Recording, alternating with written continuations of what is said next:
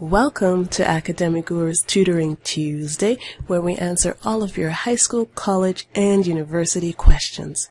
If you would like your question to be featured on next week's Tutoring Tuesday, please submit your questions to questions at academicgurusinc.com.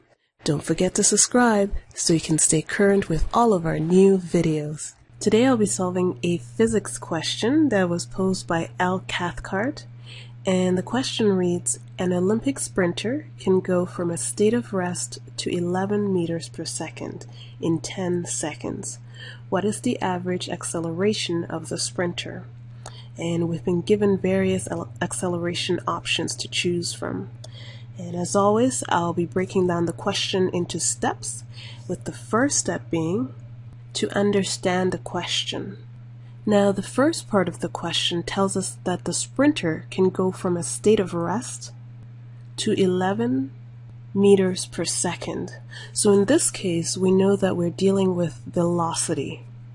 Now, velocity is simply the distance that an object is traveling within a given direction over time. When an Olympic sprinter is in a state of rest, we know that the distance that the sprinter is traveling is zero because he or she is not moving, regardless of the time that has elapsed. In the case of 11 meters per second, it tells us that for every second that passes by, the Olympic sprinter would have traveled 11 meters. Now that we understand velocity, we can go on to try and understand acceleration. Or in this case, the average acceleration, which is what the question is actually asking us to find. The average acceleration is the change in velocity over the change in time.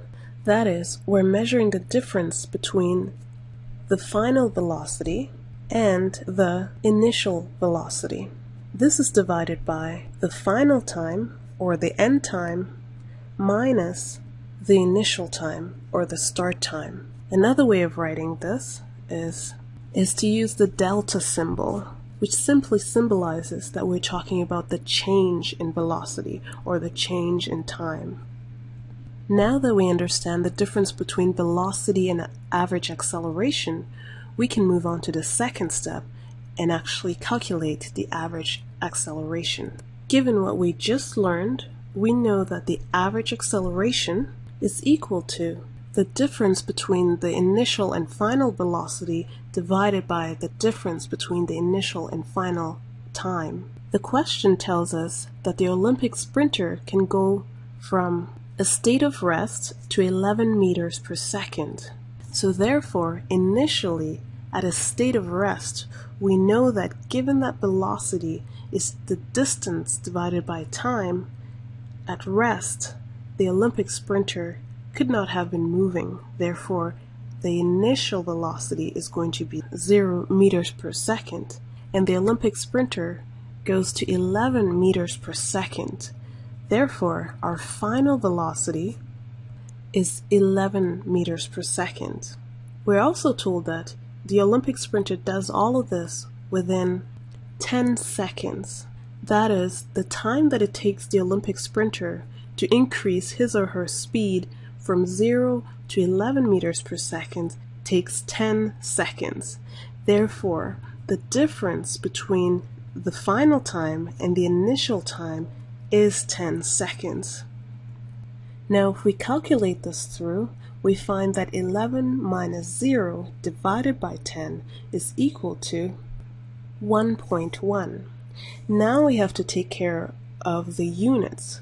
We've got meters per second in the numerator and second in the denominator. So what we have here is 1.1 meters per second over second. Another way of writing this is 1.1 meters per second squared because a second multiplied by a second in the denominator is simply the second to the second power, or s squared, second squared. So there you are, Al Cathcart. It appears C is the correct answer. Thank you for tuning into our Tutoring Tuesday channel. If you enjoyed watching this video and found it helpful, please give us a thumbs up, comment, and subscribe. We would love to hear from you. Until next week's Tutoring Tuesday, happy studying.